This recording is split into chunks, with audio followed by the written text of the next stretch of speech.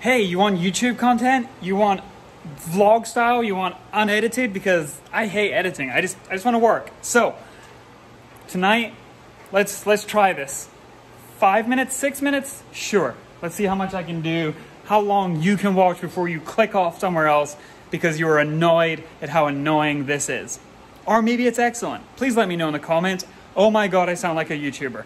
Ugh. Right. Polo, Harlequin, yes, you might have seen it over in Donut Media. Dirty little secrets. Well, yes, it has yellow brake calipers in the rear, but they were never hooked up to the handbrake cables. E-brake cables, if we're being all American. So inside, past the Black Forest shift knob, past the original yellow color concept from a Mark III Cabriolet in Europe e-brake handle, which came from Volkswagen Parts Classic. Here is, you know, you can't even see that. There's the two screws that hold the cable on. And I went through my parts bin and I found Mark III Golf cables, which are brand new. And they are that part number. And these are approximately 20 millimeters shorter than the correct ones for a Polo. But in America, we don't have Polos. So I'm gonna try and jam those on and see if they fit. I'm also using Mark IV calipers, so everything's just a hodgepodge. Who knows if that's gonna work. Over here, past the hand-built caddy, that's another project for another day. Brandon's Cabrio and cooling fans running because it is really hot and humid in here. He is trying to make his cooling fan switch work. So let me flip the camera around. Here is Brandon, go follow him on Instagram. And here is a CE1 fuse panel, which we found out C, the block C is the one that controls it. And what number was it? 20? 20. Wire C20, well, was it 20 or was it fuse 20?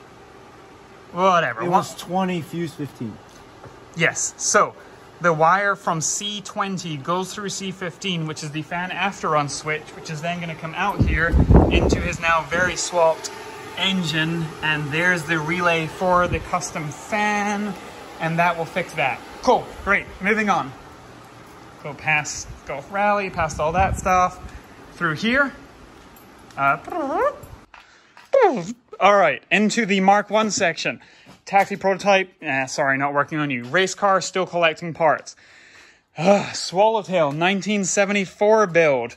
This is drum brakes. If you have not seen them, these are factory. This is a front hub for a rabbit, left and right, or right and left. Let me think. That's left side, right side. These are factory. When I flip these over, you will see it is a factory drum front brake, of which I have found brand new bearings, brand new brake cylinders, brand new drums, brand new pads, shoes, pads, ugh, shoes, and all these other parts. And then somewhere up here, I have even more parts for them. So I'm gonna build this, and then on this car quite soon, gonna be a big surprise coming up. Um, yeah, otherwise, it's, it's, yeah, missing some chunks, and sure, this kind of fell off, and it has chrome, and I didn't put the windshield in right, but whatever, don't worry about that. So these are all jobs to do, but that will, yeah, be progressed. What I'm going to do right now is pull the hubs off, change the bearings. Probably not tonight, going to run out of time. But yeah, let's go back. Other thing I have to do really soon, Doka windshield. Because it doesn't have one and it needs to go outside again. So yeah, I need to install that. Then it's got seats and things. They can start to go in. It doesn't have a dashboard, steering wheel, seats, anything, carpet, whatever. But right now, Polo rear disc brake cables. Let's do it. So pretty much this is what all late style Mark IIs, Mark IIIs, everything looks like. Cable comes in through a channel here and then it has two nuts that lock it in and then it has this left to right adjuster. So you just simply take off the nut, go outside and hopefully this will pull through in theory, but quite often it's corroded and rusted. But at least in here, they look pretty good. So, underneath the Polo Harlequin, want a turbo swap. Yes, we did things. Yes, this is the Black Forest custom-made mount with a dick butt on it. Uh, before anyone comments, no, this is not hanging loose. It is cable tied on there, but I'm also replacing all of that.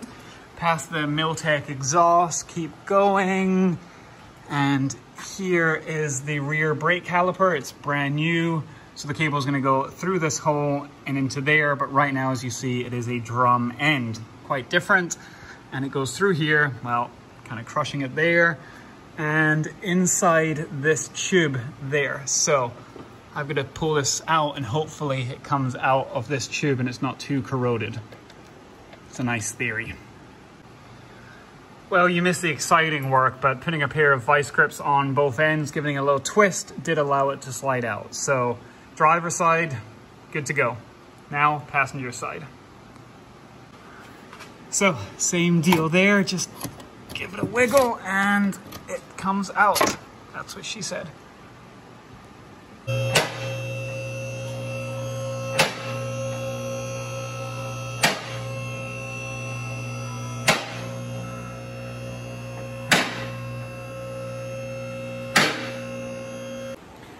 So I just lowered the car after putting the first cable in. It did seem to go all fine in there, but they're basically all interchangeable. But I'm only doing one in test fitting because then if it's wrong, I haven't done too much. But would you look at that? There is the new cable and it reaches I mean, more than enough. In fact, maybe too much. Um, yeah, so as long as that's okay lengthwise, then we are in business yeah, I think that's that's hopefully going to be good. Well, someone just asked me for the part number on the Rabbit front drum brake shoes. So if you need it, there it is. I hope that helps. Back to the Polo brakes. Welcome back inside the Polo. That is it. Both of the cables have been pushed through and they're both adjusted. So now when I pull on the cable, or the handle rather, yeah, that was not a good view when I pull on the handle and block the light, you can see it works. So that's it. Just go outside, button everything up, and maybe adjust these a tiny bit more, and we're finished. So you can't really see it, but Brandon has found that wire through into the engine bay, so he's got that tomorrow. We're going to extend it. It's about 12 inches short, but we'll use the nice crimp and heat shrink connectors Polo is done. Um, eh, almost. I still have to clamp the the cables have to go back into their routing there, but it works, it adjusts fine. So Mark III early Golf disc cables work in a Polo 6N factory handbrake with the late Mark or the Mark IV style aluminium calipers. If you're ever looking for that, Mark II, 3, 4 calipers are all interchangeable. They just change slight layout, but they bolt up the same.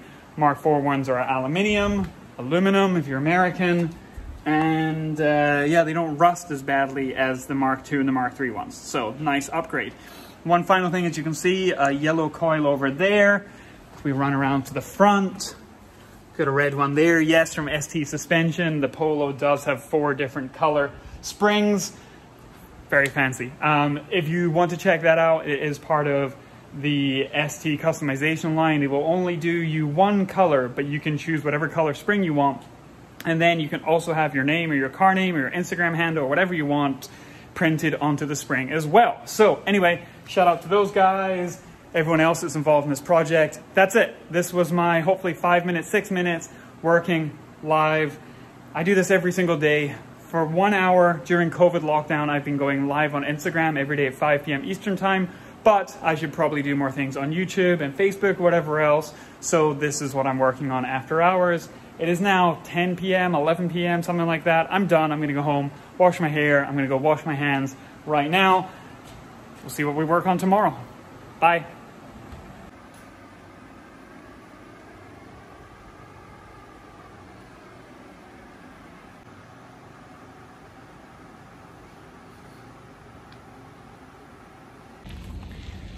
So that really is it. Done for the night.